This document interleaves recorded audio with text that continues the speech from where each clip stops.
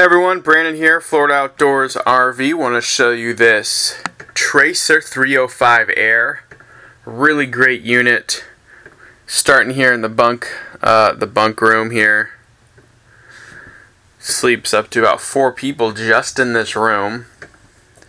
Moving here and looking at the bathroom. Got a nice big bathroom with a separate entrance, which is nice kids come in from playing or they're dirty, just come in, have them come in that door, clean up before they come into the main area. Large flat screen TV. I mean, the sleeping space in here is really, really quite good. Alright, so stepping outside here.